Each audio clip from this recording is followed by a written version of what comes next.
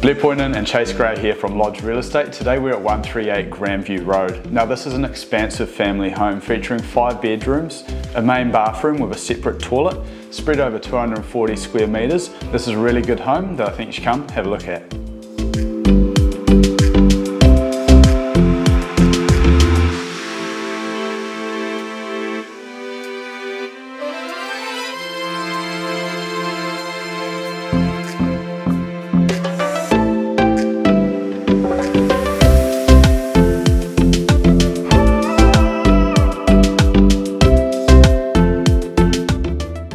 A substantial home on a substantial 889 square metre section.